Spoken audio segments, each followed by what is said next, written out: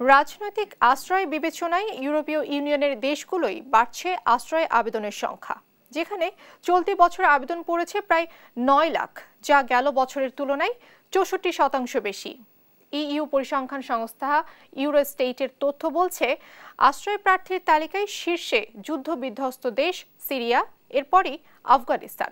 প্রায় পঞ্চাশ হাজার আবেদন নিয়ে সাত নম্বরে বাংলাদেশ। আর এরপরই পাকিস্তান ও ভারতের অবস্থান।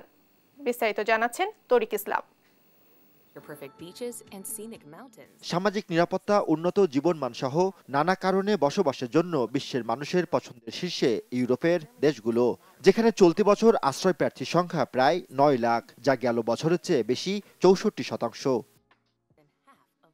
গেল তেইশ মার্চ ইউরোপীয় ইউনিয়নের পরিসংখ্যান সংস্থা ইউরোস্টাট আশ্রয় প্রার্থীর পরিসংখ্যান প্রকাশ করে। তথ্য বলছে, এবছর বিশ্বের বিভিন্ন দেশ থেকে রাজনৈতিক আশ্রয় প্রার্থীর সংখ্যা গেল বছরের তুলনায় সাড়ে তিন লাখ বেশি। আবেদনের প্রথমে রয়েছে যুদ্ধ বিধ্বস্ত দেশ, সিরিয়া, দ্বিতীয় স্থানে আফগানিস্তান। প্রায় পঞ্চাশ হাজার আবেদন নিয়ে সপ্তম অবস্থানে বাংলাদেশ। সমাজবিজ্ঞানীরা বলছেন, দেশে আইনের শাসনের অভাব ও রাজনৈতিক অস্থিতিশীলতার কারণেই বাড়ছে আশ্রয় প্রার্থীর সংখ্যা। দেশে কোনো আইনের শাসন নেই। কারোর মধ্যে কোনো ভয় কাজ করে না। সেই কারণে তারা সব মানে বেপরা হয়ে গেছে। সব জায়গায় মানে অবক্ষয় চলছে। মূল্যবোধের সংকট চলছে। মানুষের মধ্যে নীতি, নৈতিকতা কাজ করছে না। মানুষ সবাই এখন কত দ্রুত বাড়ি গাড়ি করা যায় সেদিকে ঝুঁকে গেছে। একই মত অভিবাসন বিশেষজ্ঞদেরও। তারা বলছেন, উন্নত ও নিরাপদ জীবনের তাগিদেই বাড়ছে আশ্রয় আবেদন। একটা হচ্ছে যে একটা অর্থনৈতিক, আর্থসামাজিক অনিশ্চয়তা গণতান্ত্রিক প্রেক্ষাপটের অনিশ্চয়তা, এইটা চিন্তা করে হয়তো তাদের মনে হচ্ছে যে বাংলাদেশে না থাকাটাই ভালো হতে পারে। এবং আমরা যদি চিন্তা করি যে জাতিগতভাবে আমাদেরকে যে নিরাপত্তা রাষ্ট্রের দিতে পারার কথা, সেটা সবসময় তো আমরা নিশ্চিত করতে পারছি না। রাজনৈতিক অনিশ্চয়তা, মানবাধিকার পরিস্থিতি, বিচার বহির্ভূত, হত্যার মতো বিষয়কে পুঁজি করেই আশ্রয় আবেদন বাড়ছে ইউরোপের দেশগুলোই তরিক ইসলাম, দেশ টিভি, ঢাকা। রাজধানীর রমনা থানার ডিজিটাল নিরাপত্তা আইনের মামলায় প্রথম আলোর সাংবাদিক শামসুজ্জামানের জামিন আবেদন না মঞ্জুর করে কারাগারে পাঠানোর আদেশ দিয়েছেন আদালত। ঢাকার অতিরিক্ত চিফ মেট্রোপলিটন ম্যাজিস্ট্রেট তোফাজ্জল হোসেনের আদালত এ আদেশ দেন। মাসুদ মুস্তাহিদের রিপোর্ট। বুধবার দিনভর অনেক নাটকীয়তার পর বৃহস্পতিবার শামসুজ্জামানকে গ্রেপ্তার দেখিয়ে সকাল দশটার দিকে ঢাকা চিফ মেট্রোপলিটন ম্যাজিস্ট্রেট আদালতে আনা হয়। হাজতখানা থেকে দুপুরে মামলার শুনানির জন্য তোলা হয় আদালতে। এ সময় মামলার তদন্ত শেষ না হওয়া পর্যন্ত কারাগারে আটক রাখার আবেদন করেন মামলার তদন্ত কর্মকর্তা রমনা থানার পরিদর্শক আবু আনসার। অপরদিকে মামলায় জামিন চান শামসুজ্জামানের আইনজীবী প্রশান্ত কুমার কর্মকার। শুনানি শেষে জামিন আবেদন নামঞ্জুর করে প্রথম আলোর সাংবাদিককে কারাগারে পাঠানোর আদেশ দেন আদালত। এই মামলায় যে অভিযোগগুলো আনা হয়েছে এবং সেই অভিযোগের প্রেক্ষিতে যেই ধারাগুলো আনয়ন করা হয়েছে, সেগুলোর সাথে সেটা সামঞ্জস্যপূর্ণ নয়। সুতরাং এই মামলায় আইনত ত্রুটি রয়েছে এবং ন্যায় বিচারের স্বার্থে এই আসামি জামিনে মুক্তি পাওয়ার যোগ্য। তদন্ত যেহেতু প্রাথমিক পর্যায়ে, সুতরাং তিনি জামিনের আবেদন নামঞ্জুর করেছেন। গেল বুধবার ভোর চারটার দিকে পরিচয় দিয়ে শামসুজ্জামানকে তুলে নিয়ে যায় সিআইডি। পরে গোলাম কিবরিয়া নামে এক ব্যক্তি তেজগাঁও থানায় ডিজিটাল নিরাপত্তা আইনে শামসুজ্জামানের বিরুদ্ধে মামলা দায়ের করেন। একই অভিযোগে রমনা থানায় আরেকটি মামলা করেন আইনজীবী আব্দুল মালেক ওরফে মশিউর মালেক। মাসুদ মুস্তাহিদ, দেশ টিভি, ঢাকা। ডিজিটাল নিরাপত্তা আইনের মামলার পরই প্রথম আলো সাংবাদিককে গ্রেফতার করা হয়েছে বলে জানিয়েছেন স্বরাষ্ট্রমন্ত্রী আসাদুজ্জামান খান কামাল। প্রাথমিকভাবে অপরাধ প্রমাণিত হওয়ায় নিরাপত্তা সেলে নেওয়া হয়নি বলে জানিয়েছেন আইনমন্ত্রী। আর ডিজিটাল নিরাপত্তা আইন সব মানুষের ক্ষেত্রে প্রযোজ্য বলে জানান তথ্যমন্ত্রী ডক্টর হাসান মাহমুদ। মিরাজ মিচু রিপোর্ট। দুপুরে সচিবালয়ে তথ্য ও সম্প্রচার মন্ত্রণালয়ের সম্মেলন কক্ষে সংবাদপত্রে বিজ্ঞাপনে বঙ্গবন্ধু গ্রন্থের মোড়ক উন্মোচন করেন তথ্যমন্ত্রী। সভায় সাংবাদিকদের প্রশ্নের জবাবে তথ্যমন্ত্রী বলেন অপরাধ আর সাংবাদিকতা এক জিনিস নয় তবে শামসুজ্জামানকে গ্রেপ্তারের বিষয়ে আগে জানালে ভালো হতো। এখন অপরাধ আর সাংবাদিকতা এক জিনিস নয়। কোনো সাংবাদিক যদি অপরাধ করে তার কি শাস্তি হবে না? কেউ যদি অপসাংবাদিকতা করে স্বাধীনতাকে কটাক্ষ করে, সেটার কি বিচার হবে না? ডিজিটাল নিরাপত্তা আইন হচ্ছে সমগ্র দেশের সব মানুষের ডিজিটাল নিরাপত্তা দেওয়ার জন্য এবং সাংবাদিকদেরও ডিজিটাল নিরাপত্তা দেওয়ার জন্য। ডিজিটাল নিরাপত্তা আইনের আইনের সুযোগ নিয়ে বা আইন ব্যবহার করে অনেক সাংবাদিকও মামলা করেছে। তো ডিজিটাল নিরাপত্তা আইন সমগ্র দেশের সব মানুষের ডিজিটাল নিরাপত্তা দেওয়ার জন্য এই আইন। এবং এই ধরনের আইন পৃথিবীর বিভিন্ন দেশে হয়েছে। সচিবালয়ে আইন মন্ত্রণালয়ে আইন মন্ত্রী ও স্বরাষ্ট্রমন্ত্রীর বৈঠকের পর প্রথম আলো প্রসঙ্গে সাংবাদিকদের নানা প্রশ্নের জবাব দেন তারা। গতকাল ডিজিটাল সিকিউরিটি অ্যাক্টে যেই মামলাটি করা হয়েছে তার যে ক্লিপটা আপনারা যদি দেখে থাকেন তাহলে সেখানে ডিজিটাল সিকিউরিটি অ্যাক্টের যে মামলা হয় এটার তথ্য উপাত্তেও কিন্তু সেই ক্লিপটার মধ্যেই ছিল। তো সেই ক্ষেত্রে এক্সামিনেশন করার জন্য পাঠানোর প্রয়োজন পড়ে না বলেই এই মামলাটা গ্রহণ করা হয়েছে। আমি এখন যেটা বলছি যে প্রাথমিকভাবে এই তথ্যের ভিত্তিতে একাত্তর এবং প্রথম আলোর যে তথ্যগুলো পত্রিকায় আসছে কিংবা মিডিয়ার মাধ্যমে আসছে সেইগুলোর জিজ্ঞাসাবাদের জন্য সিআইডি তাকে মানে জিজ্ঞাসাবাদের জন্য নিয়েছিল। জিজ্ঞাসাবাদন্তে তাকে ছেড়ে দেওয়ার পরে সে যখন আরও যে বেশ কয়েকটি মামলা বিভিন্ন স্থানে হয়েছে সেই মামলাগুলিতে তাকে আবার পুনরায় অ্যারেস্ট করা হয়েছে। এদিকে চোদ্দ দলের সভায় আওয়ামী লীগের যুগ্ম সাধারণ সম্পাদক মাহবুবুল আলম হানিফ বলেন প্রথম আলোর খবরটি ষড়যন্ত্রমূলক ছিল যা নিয়ে বিএনপি রাজনীতি করছে। এর দায়ভার ওই পত্রিকাকে নিতে হবে। ছাব্বিশ তারিখে আমাদের মহান স্বাধীনতা দিবস। সেই দিবসে একটা শিশুর ছবি দিয়ে পরদিন প্রথম আলো পত্রিকাটা নিউজ করা হয়েছে। যে নিউজটা পরিকল্পিতভাবে ষড়যন্ত্রমূলক ছিল, এবং এই নিউজটা যে পরিকল্পিত মিথ্যা খবর ছিল, সেটা তারা উপলব্ধি করতে পারে তারা নিজেরাই সরিয়ে নিয়ে প্রমাণ করেছে যে এই নিউজটা ষড়যন্ত্রমূলক ছিল। এই নিউজের কোনো সত্যতা ছিল না। এই দায়ভার প্রথম আলোকেই বহন করতে হবে। সরকারের সমালোচনা আর স্বাধীনতাকে কটাক্ষ এক জিনিস নয় উল্লেখ করে এই দুঃসাহস মেনে নেওয়া যায় না বলেও মন্তব্য করেন মাহবুল আলম হানিফ। কিন্তু এই খবর তো সারা দেশের মানুষের কাছে ছড়িয়ে গেছে। মিরাজ মিজু দেশ টিভি ঢাকা। বাংলাদেশের সাংবাদিকদের উপর সহিংসতা ও ভয়ভীতি প্রদর্শনের সাম্প্রতিক ঘটনার বিষয়ে উদ্বেগ প্রকাশ করেছে মিডিয়া ফ্রিডম কোয়ালিশনের বারো সদস্য। বৃহস্পতিবার এক বিবৃতিতে এমএফসি এ উদ্বেগ প্রকাশ করেছে। মার্কিন দূতাবাসের ওয়েবসাইট এ তথ্য প্রকাশ করা হয়। প্রথম আলো ঢাকা ট্রিবিউন সহ বাংলাদেশের কয়েকটি গণমাধ্যমের সাংবাদিকদের বিরুদ্ধে সহিংসতা ও ভয়ভীতি প্রদর্শনের সাম্প্রতিক ঘটনায় এ উদ্বেগ প্রকাশ করেছে মিডিয়া ফ্রিডম কোয়ালিশনের বারো সদস্য। এমএফসির সদস্য হিসেবে এ বিবৃতিতে স্বাক্ষরকারী দেশ হচ্ছে Australia, Canada, Denmark, France, Germany, Italy, Netherlands, Norway, Sweden, Switzerland, যুক্তরাজ্য ও যুক্তরাষ্ট্র। তবে পররাষ্ট্র প্রতিমন্ত্রী শাহরিয়ার আলম বলেছেন, এই বিবৃতি কোনো প্রভাব ফেলবে না। বিশ্বব্যাপী অর্থনৈতিক সংকটের মধ্যেও সময়োচিত সংস্কার পদক্ষেপ গ্রহণের মাধ্যমে দেশের অর্থনৈতিক স্থিতিশীলতা বজায় রাখায় প্রধানমন্ত্রী শেখ হাসিনার প্রশংসা করেছে আন্তর্জাতিক গণমাধ্যম ব্লুমবার্গ। বাংলাদেশে আগামী সাধারণ নির্বাচনে তার নেতৃত্বাধীন সরকার চতুর্থ মেয়াদে নির্বাচিত হবে বলেও ইঙ্গিত দিয়েছে এই গণমাধ্যম। নিবন্ধে বলা হয়েছে, শেখ হাসিনা দু হাজার চব্বিশ সালের জানুয়ারিতে অনুষ্ঠেয় জাতীয় নির্বাচনে টানা চতুর্থ মেয়াদের সম্ভাব্য জয়ী হওয়ার কারণ এটা নয় যে তার অনেক প্রতিপক্ষ কারাগারে আছেন বা আইনি ফাঁদে পড়েছেন। বরং অর্থনৈতিক স্থিতিশীলতা নিশ্চিত করার ক্ষেত্রে তার সাফল্যের কারণে এটা ব্যাপকভাবে প্রত্যাশিত। পারস্পরিক স্বার্থে বাংলাদেশ ও ভিয়েতনামের মধ্যে অর্থনৈতিক সহযোগিতা জোরদারের ওপর গুরুত্বারোপ করেছেন প্রধানমন্ত্রী শেখ হাসিনা। সকালে ভিয়েতনামের রাষ্ট্রদূত পাম ভিয়েত চিয়েন প্রধানমন্ত্রীর সঙ্গে গণভবনে বিদায়ী সাক্ষাতে গেলে একথা বলেন তিনি। সাক্ষাৎ শেষে প্রধানমন্ত্রীর প্রেস সচিব ইসানুল করিম জানান, বৈঠকে তারা দুদেশের বন্ধুত্বপূর্ণ সম্পর্ক নিয়ে আলোচনা করেছেন। তারা বাংলাদেশ ও ভিয়েতনামের মধ্যে দ্বিপক্ষীয় সম্পর্ক বৃদ্ধিতে সন্তোষ প্রকাশ করেন। শেখ হাসিনা বলেন, বাংলাদেশ ও ভিয়েতনামের মধ্যে স্বাধীনতার জন্য সংগ্রাম এবং বিজয় অর্জনের মতো বেশ কিছু ক্ষেত্রে অভিন্ন মিল রয়েছে। নির্দলীয় নিরপেক্ষ সরকারের অধীনে নির্বাচনের দাবিতে শান্তিপূর্ণ আন্দোলন কর্মসূচি পালন করলেও এবার চূড়ান্ত আন্দোলনের প্রস্তুতি নিচ্ছে বিএনপি ও সমমনা রাজনৈতিক দলগুলো। সমমনা রাজনৈতিক দলগুলো বলছে, সুনির্দিষ্ট রোডম্যাপ এখনও না হলেও সরকার পতনের এক দফা আন্দোলনে বছরের মাঝামাঝি আসতে পারে চূড়ান্ত কর্মসূচি। নির্বাচনকালীন সরকার নিয়ে রাজনৈতিক সংকট শান্তিপূর্ণভাবে সমাধান না হলে সময় অনুযায়ী আন্দোলনের চরিত্র নির্ধারণ হবে দাবি নেতাদের। বিস্তারিত সাইফুল রিপনের প্রতিবেদনে। নির্দলীয় নিরপেক্ষ তত্ত্বাবধায়ক সরকারের অধীনে নির্বাচন সহ দশ দফা দাবিতে গেল বছরের আগস্ট থেকে যুগপথ আন্দোলন শুরু করেছে বিএনপি ও সমমনা রাজনৈতিক দলগুলো।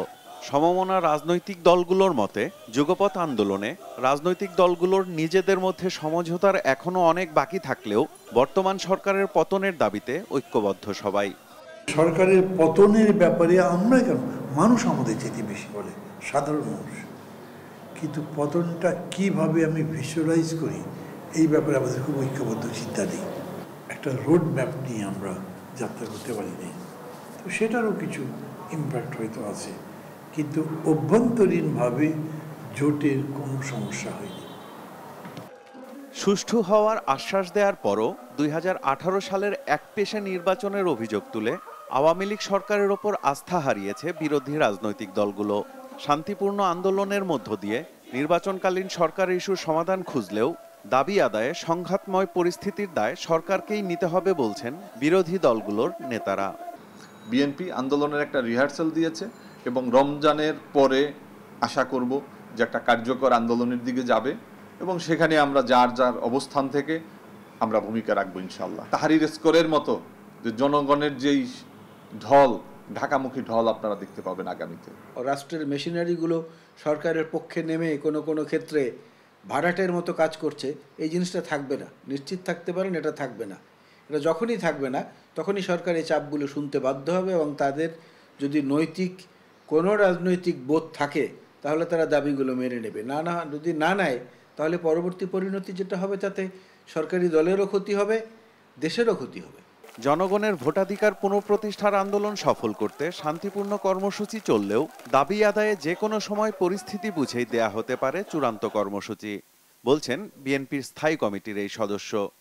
স্বাধীনতাকামী মানুষ যখন অবস্থান নেয় সিদ্ধান্ত নেয় তখন তারা সবসময় সফল হয়েছে। আমরা এবারও সফল হোক।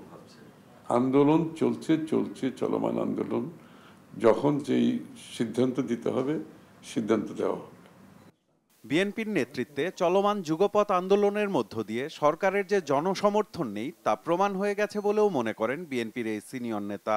তাদের নির্ভরশীলতা শুধুমাত্র আইন শৃঙ্খলা বাহিনীর উপর এটাও পরিষ্কার হয়ে গেছে। সাইফুল রিপন দেশ টিভি ঢাকা।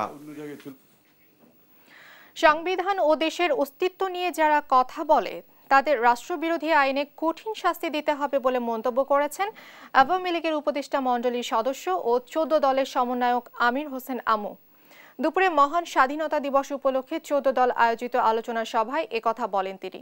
সংবিধান অনুযায়ী নির্বাচন হবে উল্লেখ করে আমির হোসেন আমু বলেন, বিএনপি মানুষ হত্যাকারী দল, আর সেজন্যই তাদের জনসমর্থন নেই।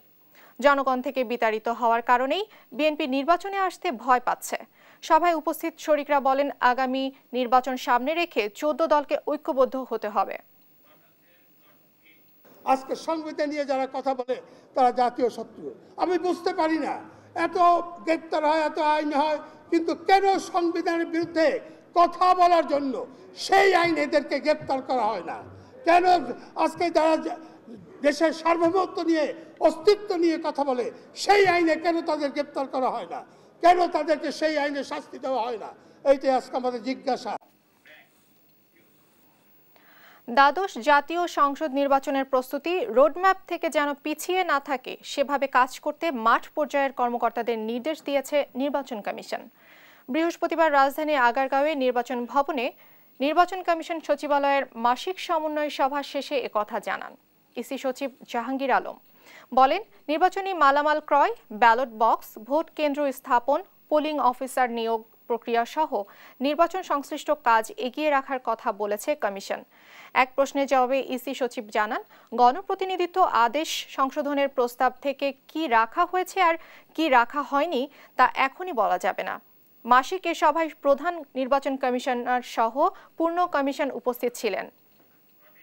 আগামী দাদার জাতীয় সংসদ নির্বাচনের প্রস্তুতির বিষয়ে নির্বাচন কমিশন সচিবালয় এবং মাঠ পর্যায়ের কি কাজ সে বিষয়ে তারা একটি নির্দেশনা দিয়েছেন যাতে আমরা তাদের ঘোষিত রোডম্যাপ থেকে পিছিয়ে না থাকি। মালামাল ক্রয় থেকে শুরু করে ভোট কেন্দ্র স্থাপন সংক্রান্ত শুরু করে প্রিজাইডিং, পুলিং অফিসারদের নিয়োগ সংক্রান্ত যে সমস্ত বিধিমালা আছে, এই সবগুলো মিলিয়ে যে আমাদের যে রোডম্যাপ আছে তা থেকে কোনটা আমরা পিছিয়ে আছি অথবা রোডম্যাপের সাথে আমরা কতটুকু এগিয়ে আছি সেই বিষয়গুলো তারা জানতে চেয়েছেন, সেটা অবহিত করা হয়েছে। রমজানের শুরু থেকেই রাজধানীতে তীব্র যানজট। রোজার সপ্তম দিন এবং সপ্তাহের শেষ কার্যদিবসে বেড়েছে এর ভয়াবহতা। এতে ভোগান্তিতে ঢাকা শহরের সর্বস্তরের মানুষ। বিশেষ করে অফিস ছুটির পর মানুষ ভোগান্তিতে পড়েছেন সবচেয়ে বেশি। বিস্তারিত জানাচ্ছেন ওয়াসিফ পার্থ। রাজধানীর যানজট যেন নগর জীবনের নিত্য সঙ্গী কর্মস্থলে যেতে সময় লাগছে নির্দিষ্ট সময়ের চেয়ে কয়েক গুণ বেশি। রোজার সময়েও নেই কোনো পরিবর্তন। উল্টো অন্যান্য সময়ের চেয়ে যানজটের তীব্রতা যেন বেড়েছে কয়েক গুণ। যাত্রীরা বলছেন দুই তিন ঘণ্টা সময় নিয়েও পৌঁছাতে পারছেন না নির্দিষ্ট গন্তব্যে। মগবাজার ফ্লাইওভারেতে এই পর্যন্ত আমার আসতে পাঁচচল্লিশ মিনিটের উপরে ওয়েটিং করছে। দুইটা বাজে উঠছি যাত্রাবাড়িতে আর পাঁচটা বাজে এই জায়গায় আইছি মাত্র। যারা বনানী বা উত্তরা যাবে তারা হয়তো বা করতে পারবে না। তারা বাসেই হয়তো বা তাদের ইফতার করতে হবে আর কি। সরকারে বলেন বাতাস খাইতে রোজার ইফতার করতে উনি দাবি মিটাবে আর আর শ্রমিক নেতা যারা আছে বাসের তাদের সাথে ইফতার করলে সব ঠিক হয়ে যাবে। গন্তব্যে যেতে গাড়ি ছেড়ে ফুটপাত ধরেন অনেকে। কেউ আবার মানছেন না ট্রাফিক আইন। এখন রোজা থেকে তো কিছু করার না আমার তো বাসায় যা ইফতারি করতে হবে। এই জন্য হেঁটে যাচ্ছি উপায় না পেয়ে। হুদাই ভাই আটকে রাখবে মিনিমাম দেড় ঘণ্টা ভাই। বাসা চুত্তর ইফতারি টাইম ভাই আমি লাস্ট তিন দিন রাস্তায় ইফতারি করছি ভাই। আজকে আমার ফ্যামিলিতে খুবই ইম্পর্টেন্ট ভাই আমার কিচ্ছু করার নাই ভাই। বাসায় পৌঁছে ইফতারের জন্য কেউ কেউ খুঁজেন অধিক ভাড়ায় বিকল্প বাহন। আর আমি জানি বাস দিয়ে গেলাম এখন পৌঁছাতে পারব না বাসে ইফতারও ধরতে পারব না। তো আমার বাধ্য হয়ে আমার পাঠানো নিতে হচ্ছে। যাতে করে আমি অ্যাটলিস্ট বাসায় গিয়ে ইফতারটা ধরতে পারি। দায়িত্বরত ট্রাফিক পুলিশ জানান অফিস শেষে সব পরিবহন একসাথে বের হয় যানজট এখন বেশি হচ্ছে। সবাই রমজান মাসে বাজার করতে আসতেছে অফিস টাইম শেষ হলে কিন্তু অন্য সময় এই জ্যামটা হয় না অফিস ছুটির পরে এটা একটু তখন সবাই বাজারঘাট করে সবাই একসাথে বাইরে হওয়ার চেষ্টা করে। এই জন্য এই জ্যামটা হয়। দায়িত্বে কোনো ঘাটতি নেই দাবি করে ট্রাফিক পুলিশ আরও বলেন নিয়ম মেনেই সড়কের শৃঙ্খলায় কাজ করে যাচ্ছেন তারা। ওয়াসিফ পার্থ দেশ টিভি ঢাকা। ঈদের আগে তিন দিন ও পরে তিন দিন ফেরিঘাটগুলোতে অতি পচনশীল পণ্য ছাড়া মালবাহী ট্রাক পারাপার বন্ধ থাকবে। দুপুরে সচিবালয়ে সাংবাদিকদের সাথে আলাপকালে কথা জানান। নৌ পরিবহন প্রতিমন্ত্রী খালিদ মাহমুদ চৌধুরী। এবং ঈদের আগে এবং পরে পচনশীল পণ্য ছাড়া বাকি সাধারণ ট্রাক কাভার্ড ভ্যান বন্ধ থাকবে। পদ্মা সেতুতে যেহেতু মোটরসাইকেল পারাপার নিষেধ, আমরা বিকল্প ব্যবস্থা করার জন্য প্রস্তুতি নিচ্ছি। যদি সফল হই, তাহলে শিমুলিয়া মাজির গান্ধী আমরা একটা সার্ভিস চালু করতে পারব। প্রাচ্যের অক্সফোর্ড খ্যাত ঢাকা বিশ্ববিদ্যালয়ের আবাসিক হলগুলোর ক্যান্টিনে খাবারের মান নিয়ে অভিযোগ দীর্ঘদিনের। এমনকি দাম বাড়লেও বাড়েনি মান। রমজানের আগে মুরগির মাংসের দাম পঁয়তাল্লিশ থেকে পঞ্চাশ টাকা হলেও তা এখন এক লাফে সত্তর টাকা। শিক্ষার্থীদের দিনের পর দিন অভিযোগ দিয়ে ক্লাস হলেও কোনো পদক্ষেপ নেই প্রশাসন। বিস্তারিত ইফতেখার রেজার রিপোর্ট, ক্যামেরায় ছিলেন জনি রহমান। প্রাচ্যের অক্সফোর্ড খ্যাত ঢাকা বিশ্ববিদ্যালয়। প্রতিদিন যার উঠান মুখরিত হয় দেশসেরা মেধাবীদের কলরবে। এ বিশ্ববিদ্যালয়ের শিক্ষার্থীদের সফলতায় প্রতিষ্ঠানের খ্যাতি বিশ্বজুড়ে। তবে প্রতিষ্ঠার শত বছর পরে এসেও ক্যাম্পাসে আবাসিক হলগুলোর খাবারের মান আর দামের কারণে শিক্ষার্থীদের গোনা টাকাই পড়ছে টান। এতে তীব্র চাপা ক্ষোভে শিক্ষার্থীরা আর অজানা কারণে নিশ্চুপ বিশ্ববিদ্যালয় কর্তৃপক্ষ। সন্ধ্যা রাত্রে আমরা যে মাছ খেয়ে গেছি চল্লিশ টাকা ঠিক ওই রাত্রে এসে দেখি সে মাছ ষাট টাকা হয়ে গেছে। খাবারের মান হালকা একটু উন্নত যে কিন্তু দামটা খাবারের সাথে প্রাসঙ্গিক না। ভেতরে গিয়ে দেখা যায় সেহেরির সময় শুরুর আগেই খোলা আছে ডাল সবজি ও মাছ মাংসের পাত্র।